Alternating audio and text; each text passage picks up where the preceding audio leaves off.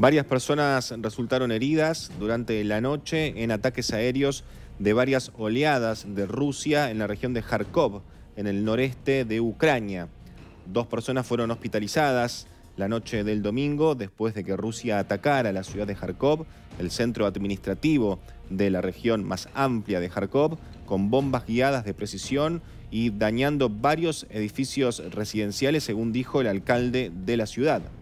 Los videos del Servicio Estatal de Emergencias de Ucrania mostraron a los rescatistas ayudando a los residentes a salir de un edificio de departamentos devastado entre escombros. Se pudo confirmar la ubicación a partir de las fachadas y también de entradas del edificio que coinciden con imágenes satelitales.